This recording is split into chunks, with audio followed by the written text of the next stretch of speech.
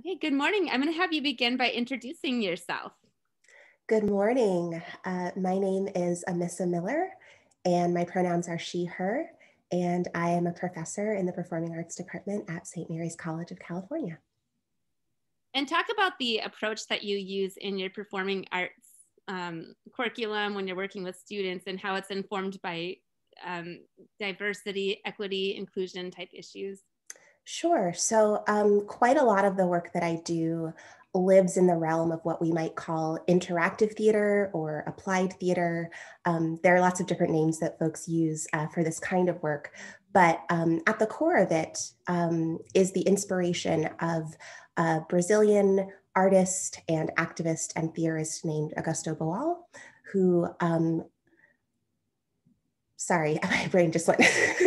uh, Augusto Boal, who um, pioneered a, a, method of art making called theater of the oppressed. Um, his standpoint is that all of us are artists and all of us are actors, and that theater is actually a tool to, um, as he said, rehearse the revolution. So his idea is that if we are making theater together that is specifically about the issues and problems that we face within community, we can try out different solutions within that realm of the aesthetic space uh, strengthening our muscles so that when we actually go out into the world, we have in our bodies the practice of trying on those different interventions, of interrupting harm when it happens, of proposing different solutions, of practicing solidarity and allyship. Um, and so a lot of the work that I do is, is really rooted in that, is really rooted in um, the belief that theater is not just an experience where we sort of sit back and passively take in a story, that theater is actually something that we are actively participating in as we are building the world that we want to live in. So that philosophy um, undergirds a lot of the work that I do as an artist and as an educator. That's amazing. And this idea of facing the revolution and kind of strengthening the muscles so we have an opportunity to kind of challenge things that happen in front of us.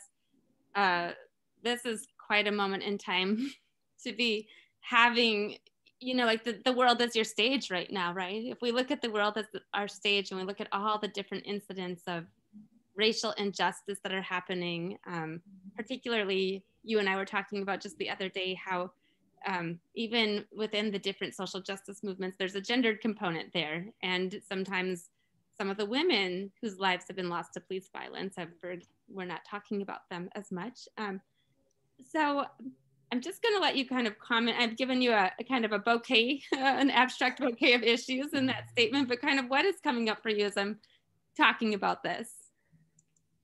Well, there's a lot that comes up for me. Um, as a Black woman who loves Black people and believes in the power um, in our communities and believes in our liberation and believes in our right to be free and to live in peace and joy uh, and health.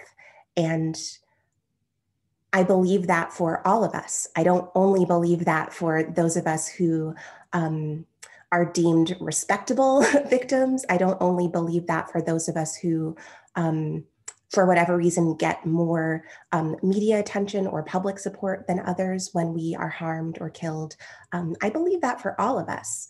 And, and so it's particularly um, important to me that those of us who are not cis men are also seen as worthy of protecting and worthy of fighting for. Um, it is it is powerful that as many people um, as we saw last summer took to the streets um, because of the, I think, particular nature of the brutality of George Floyd's murder and the fact that it was documented in a way um, that it was impossible to ignore for a lot of folks who I think can often choose to ignore these sorts of incidences of violence. But it's also disheartening that we have not seen that same mass mobilization on behalf of Black girls, Black women, Black gender nonconforming people. Um, I'm thinking in particular, of course, of Ma'Khia Bryant. As we all were waiting and watching to see what the verdict would be in the Derek Chauvin trial, 16 year old Ma'Khia Bryant called the police for help, felt unsafe, felt threatened, was trying to defend herself and ended up losing her life, ended up having her life taken from her. And rather than seeing people rallying to support, I've seen a lot of folks justifying her murder, looking for reasons to blame her for her death, rather than blaming the officer who shot her, rather than blaming the system of policing itself, rather than blaming the society that criminalizes Black youth.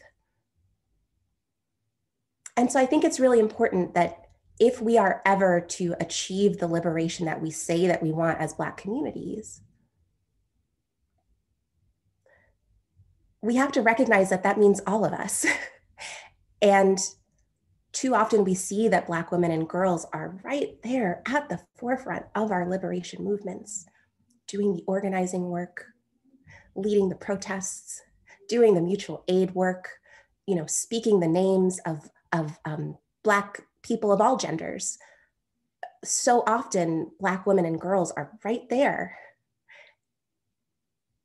And far too often, we see that when we are the ones who've been killed, when we are the ones who've been harmed, whether that's harm that's coming externally from outside of our community or harm that is happening within our community, we don't see that same mobilization to show up for us. And I believe that that is the next frontier in our Black liberation movement. If we can get to a place intracommunally where we slay the dragons of misogynoir, we slay the dragons of cis heteropatriarchy, if we can slay those dragons, to me, I was I was speaking with a friend earlier this week, um, and we sort of framed it as, you know, those are like the final bosses that we have to defeat within Black community, and if we can do that, you know, this is what Barbara Smith and the folks in the Combahee River Collective were saying that when we do that, when we make sure that Black women and girls and gender nonconforming folks are safe and well, it necessarily means that all of us are. So that's what's coming up for me when you pose that question. That's a lot. And we're going to delve into some of that. I mean, a couple of things are coming up. Like, even to this day, I can remember Ma'Khia's first name and then I it's like flipping her last name, right? And her story, we heard about it the day that the day after we we found out it happened, right around the time that the the verdict came out, and then we heard it in the news the next day. It's not really in the news very much anymore. Um, I'm also thinking of there was another trans woman in um, Berkeley, Kayla Moore, who died when she was put into a restraint. Um, there's so many, right? We can't even come up with all their names, and some we might not even know all their names. They might have not gotten the same amount of press coverage. But I wonder if we should talk a little bit about Ma'Khia and what the, what we've been able to piece together about her, just so we can keep pieces of her legacy alive a little bit. Um, I heard an interview with her mother, and I I understand that she was working toward getting back home to live with her mother. She was doing well in school. Um, and I'm trying to think what what else have you heard about Ma'Khia's story, um, her backstory that you can add to that? You know, the thing that I'd really like to name right now, the thing that's coming up for me is um, I've actually seen quite a few of Ma'Khia's TikTok videos. Uh, and I don't know if you've seen them, but they've been making the rounds on uh, my social media feeds. And one of the things that I've appreciated is just getting to see her as a little girl, just getting to see her as a 16 year old, making TikToks where she's doing different hairstyles and you know smiling and preening for the camera and you know brushing down her baby hairs um, while listening to music um, and her her softness her joy um, her her being a child. I've really appreciated that because far too often, especially when we lose our young people, we tend to forget that they're not martyrs, they're not poster children, they're actually just our babies, they're our young people. And so it's been really lovely for me to just see her expressing herself in a medium that lots of young people are using these days to express themselves and to just see her being happy and living her life. I've needed that. There were quite a few um, I believe the organization is Black Feminist Futures. There were quite a few sort of pockets of Black feminist folks across the country a couple of weekends ago who um, held vigils for Ma'Khia. And one of the things that they did is they, they simply collected the artifacts that remind us all of our Black girlhood. so they collected barrettes and bubbles for the hair. Um, they collected, you know, articles of clothing, um, things that felt soft and felt like girlhood to them and felt joyful and reminded them of Ma'Khia's girlhood, her Black girlhood, and, and offered those things um, at altars uh, across the country for Ma'Khia. So that's what I'd like to remember about her. I, as much as it is important for us to remember how she died, it's really important for me to remember how she lived. And, and so I, I feel fortunate that I got to see a little piece of that in the TikTok videos that I that I saw on, on my Twitter timeline. Um, just being able to see her smile and be a child was really important to me. Yes, I I appreciate that example so much, and I'm thinking about as a mother, um, just how I felt hearing from her own mother, and then hearing you talk about those things. Um, and I'm feeling joy and deep sadness because I'm thinking like, oh, I can go watch some TikToks by this girl, but actually I can only watch TikToks that were already made because there won't be any more. And so that kind of finality, that like this this period, the punctuation mark being put at the end of her life right here at the young age of 16 is is the real tragedy here. Um, so I'm just that's coming up for me as you're talking about that, and it, it underscores the importance of exactly everything that you've said. Absolutely. Um, Absolutely. And I wish that we could hold that for for all of the folks that we've lost, right? Not not just our young people, um, for every life that's been taken from our communities, right? All of us are people who love and are loved.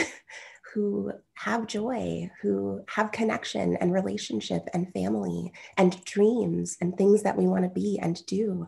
And those things get snuffed out. They get they get stolen from us. Um, and so it's it's it's as you said, it's holding the joy of knowing that that that we can know her on some level in that way. And it's holding the deep sadness and grief and rage in recognizing that that light was snuffed out. Yeah, that's well put. And along with talking about kind of like like holding up some of her light and some of the things that are joyful uh, as we remember the way she lived her life i think we should also spend a little bit of time even though it's less fun to talk about but um, the way in which she's been criminalized and blamed for her death we see this we saw it with George Floyd. We see it with everybody, right? And I'll see it even in social media like, oh, if so and so hadn't been in that place, if they hadn't been running around regarding the 13 year old in Chicago, if they hadn't been running around with mm-hmm. a gun, instead of saying, well, what, what was happening in the society that had this young child running around with a gun? What would it have looked like if an intervention happened and they got him some support? Or mm-hmm. he was like a very artistic child. What would have happened if he was able to explore that? Um, instead of looking again at like the system, um, we're going to that. And so we know, I've heard a number of people say, well, there's no choice. This woman had a gun, this 16 year old had a knife and she was going to kill somebody. Um, to me, that doesn't make sense. It, these are trained officers. I think that they would have a background in de escalation, or in theory, they would. Um, but what comes up to you when um, when she's portrayed in the media as somebody who was going to be a cold-blooded killer who was going to stab somebody and they had no choice. Right. Um, there's a lot that comes up for me around that. Um, i think there are two lines of thinking that emerge. It is not surprising that folks outside of black community are primed to criminalize black folks That is deeply ingrained in the history of our country. So that is actually not surprising to me. Is it upsetting? Yes. Is it something that needs to be eradicated? And is that the work of white folks to do within community? Yes. I think the thing that has been more upsetting to me has, has been seeing that happen within Black community.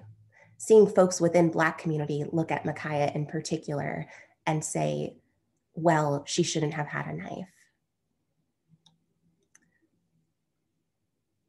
To me, I understand that as, and this might sound strange, but this is also a coping mechanism that emerges among Black folks, right? Because on some level, we want to believe that if we make the right choices or our loved ones make the right choices, then we will not end up becoming hashtags. And so some part of us subconsciously is looking at her and saying, what are the things that she did wrong? What are the things that her family did wrong? And if I can avoid doing those things, and if I can tell my children to avoid doing those things, then maybe we will be safe the sad realization is that nothing we do or don't do will protect us. Our very bodies are criminalized simply by existing, simply by breathing. And that's a hard realization to hold. I think the human brain wants to rationalize because we want to know how to keep ourselves safe. And so that's that's one deeply subconscious working that I believe is happening with, with lots of Black folks as they look at cases like this. They're, they're trying to separate themselves from it. They're trying to say, if I am not like her, then maybe this won't happen to me. But of course, we know that that's not true. Of course, we know that Aiyana was asleep in her bed and she was seven years old. Breonna was asleep in her bed. Tatiana was playing video games with her nephew. None of these are criminal acts. There are no weapons involved. And yet all three of those people are dead. And so I, I, I do believe on some level, as Black folks, we have to recognize that no amount of respectability is going to save us. No amount of trying to separate ourselves from, from others in our community is going to save us. No amount of achieving our way out of whatever conditions we feel um, might be you know confining us within our communities no amount of that is going to save us we have to be the ones to say that we are ready to, to fight for our liberation and that has to mean that we we have to believe that every black life is precious regardless of what choices an individual makes or does not make in the face of state violence so that comes up for me yeah.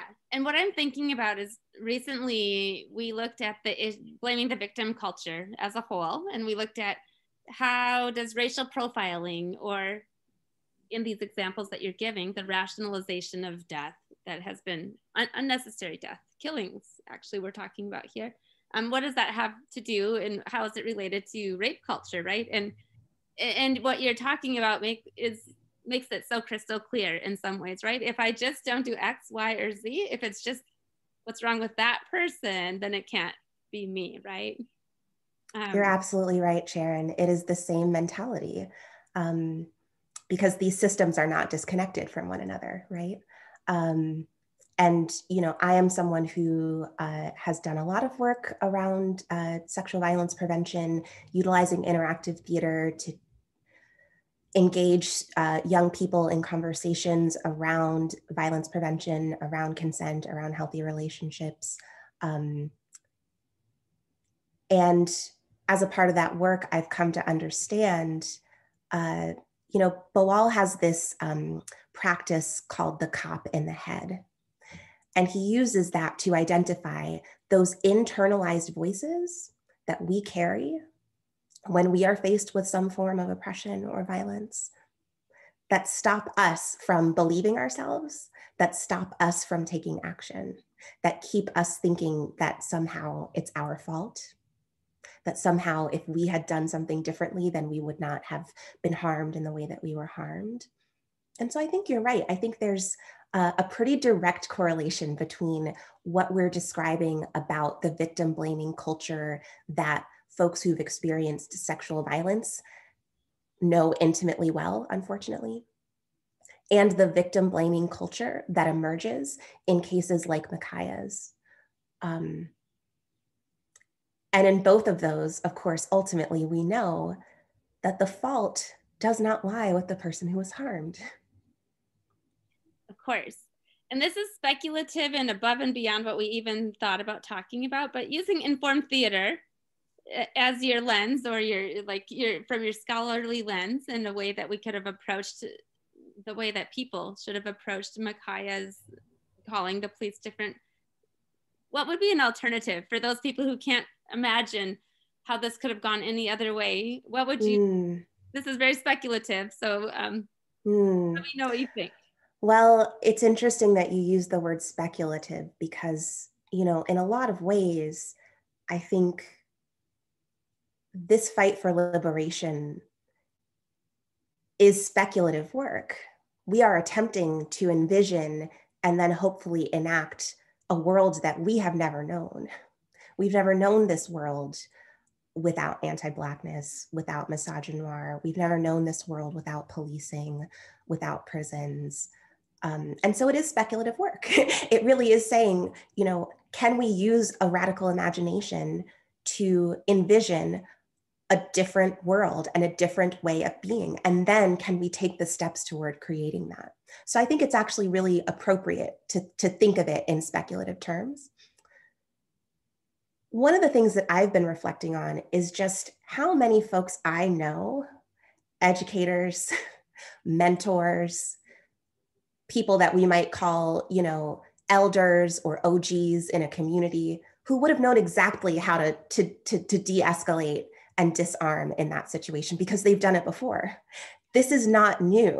Folks within our communities every day are doing this work of, of, of supporting our young people, of mentoring our young people, of intervening in conflict between our young people, of mediating conflicts between young people, of, of finding ways to, to, to generate processes where young people can, can air grievances or differences and come to some sort of resolution where folks who've been harmed can, can find justice. This is already happening every day.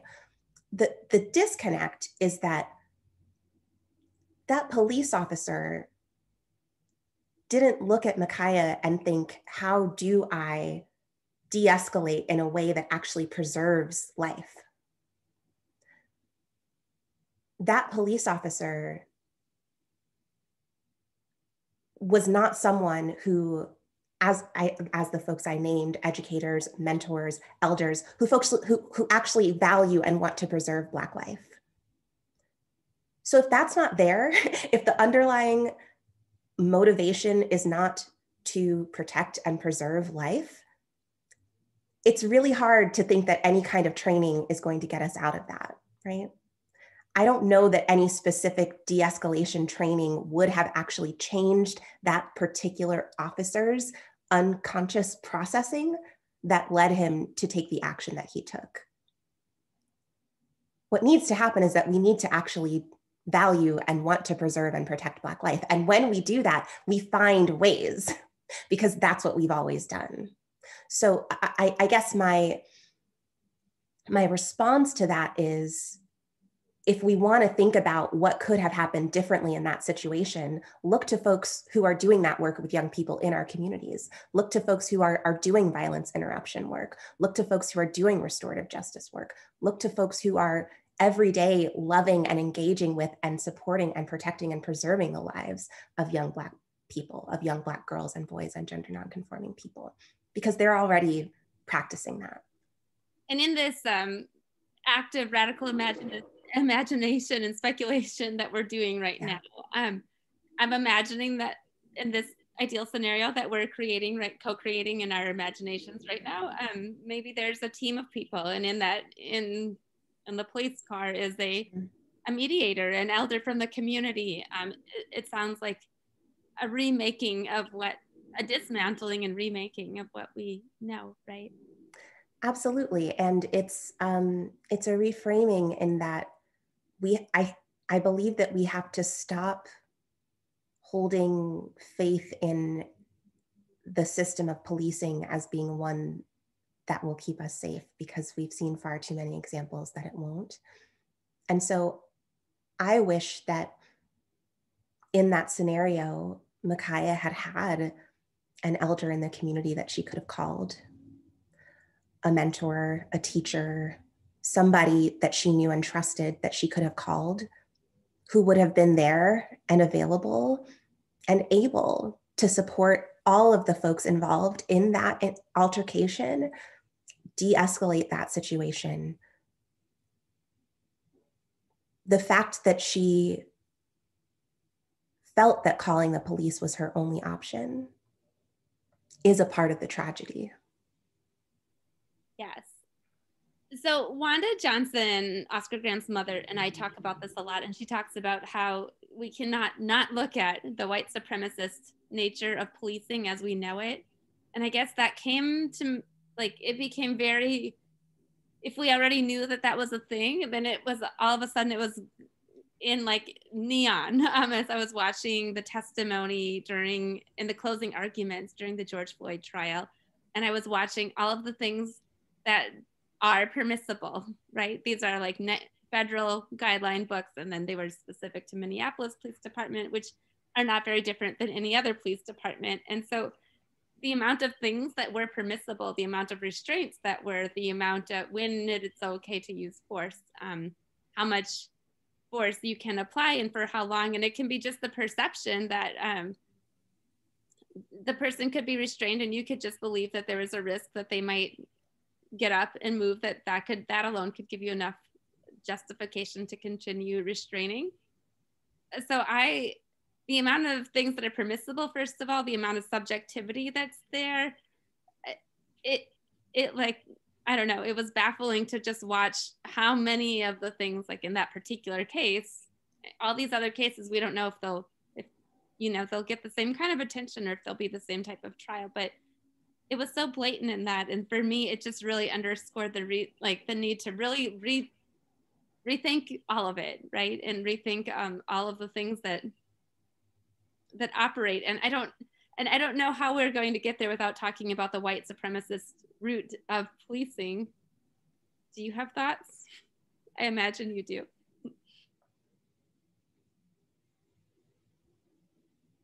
Well i think you're absolutely right that policing is a white supremacist institution. And if folks are not willing to say that, own that, and really actually start thinking about creating alternatives that are not rotten at the core, the way that policing is, then we're never actually going to get anywhere. If we keep thinking that it's about one individual officer whose force was excessive one individual's officer whose subjectivity led him in a direction uh, that that took that took the, those um, those afforded actions a little bit too far. If we keep making it about individual reforms or trainings within the institution, we're going to keep coming up against situations like this. I, I, I have to be honest and say that I did not watch much of the Derek Chauvin trial. It was not something that I had the capacity to do. One of the things that I heard is that the prosecutor at one point said, the system of policing is not on trial here we can all agree that policing is good. Policing is necessary. This is not about whether or not policing is bad or wrong. This is about this one individual officer. And I'm paraphrasing, of course, because I didn't watch it. Um, but that should that should tell us all that we need to know about whether or not this individual case, this individual trial is actually a marker of any sort of progress a lot of people want to believe that it is. And I understand deeply why people want to believe that it is. But for me, if we're still holding the argument that the system of policing is fine, it's just that there are a few individual people who go too far, that the system of policing is fine, we just need a few more diversity and de escalation trainings if that's the conclusion that folks have drawn from this trial, we got rid of this one bad apple, so now we can just go back to the way things were before. That's not progress to me. yeah there's a lot there and as i i also didn't watch uh, the whole thing but the the closing arguments for so long and i i saw that as the prosecutor's strategy to get one particular officer held accountable. So some feel like this is having one person being held accountable is one one step of one tiny step of progress. Um, knowing that knowing that like it, it might be one tiny step of progress and that there's a little bit of accountability. I was talking about this with wanda johnson and she was like gosh you know she's been fighting for so many years. And, and i was thinking like maybe maybe if we're looking for some silver lining all these other cases have started to build a little bit of infrastructure for a system of accountability and i hope that that can be one step toward the speculative imagination that we're having about what it might look like in the future. How optimistic are you? Well, I think there is a difference between punishment and accountability. So I think what we're describing here is that one officer is being punished, is facing consequences. But for me, accountability actually means that there has to be some kind of a relationship, right? I am accountable to you because I have a relationship with you. There's trust there, there's mutual investment there. And it's abundantly clear that police are not accountable to Black people. police are not accountable to Black communities. And so I, I certainly don't want to minimize the fact that for families of folks who've been murdered by the state, for many of them, it does matter that the folks who have murdered their loved ones face some sort of consequence, right? But I think it's important to make that distinction that just because an individual faces consequences for an action that they've taken doesn't necessarily mean that accountability is happening. I think that's an important distinction, and thank you for that. I'm aware of our time and I know you have to go shortly. But before we go, I'd love to learn a little bit about your journey. What is it in your life that led you into this work? Sometimes when people think about theater, they think about something that that you consume. Like you said, you sit back and enjoy and relax and watch it. And that's not what you're doing at all. Talk about your journey. What got you here?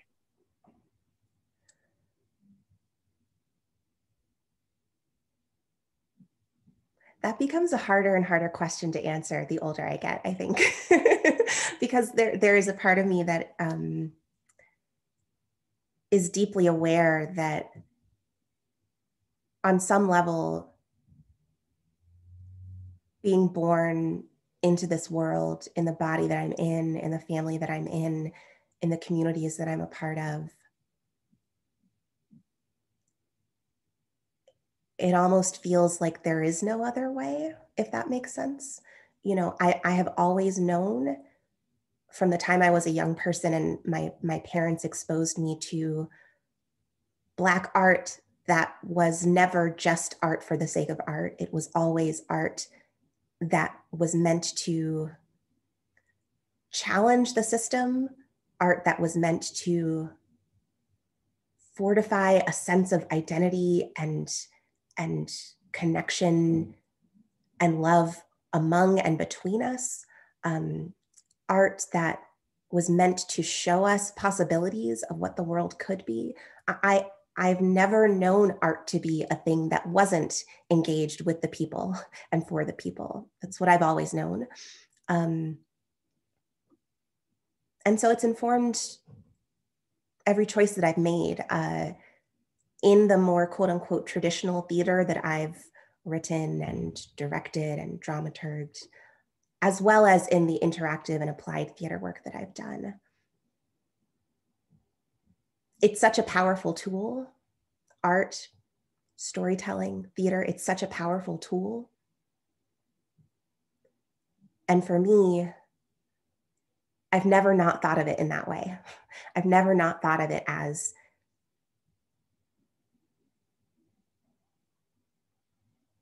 one of the tools in our arsenal, one of the things that we utilize in community as a part of our liberation movements.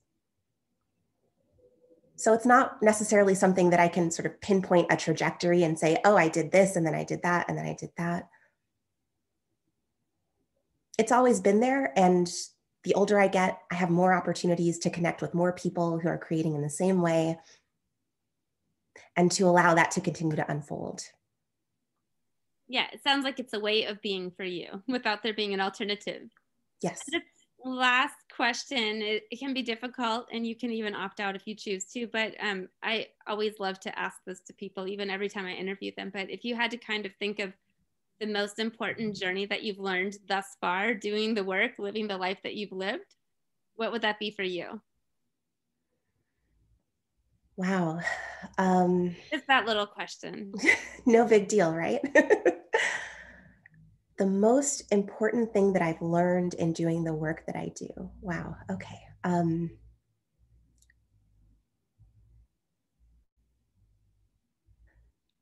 I think the most important thing that I've learned in the, doing the work that I do is that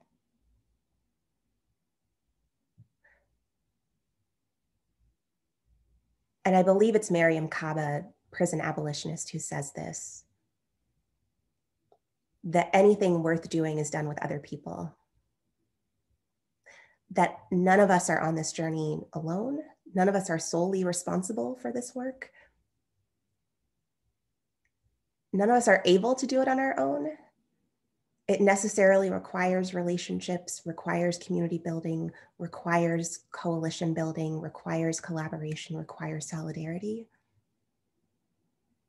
And so if there's one thing that I've learned, it's that, that, that ultimately it's about whether or not we are doing our work in relationship with and accountability to other people because that's what that's what that's what our life and our living is about right it's it's never just about our own individual journey it's always about connection community relationship preserving that valuing that honoring that centering that in any of the work that we are doing toward liberation. That's beautiful. Is there anything else you'd like to add? I don't think so.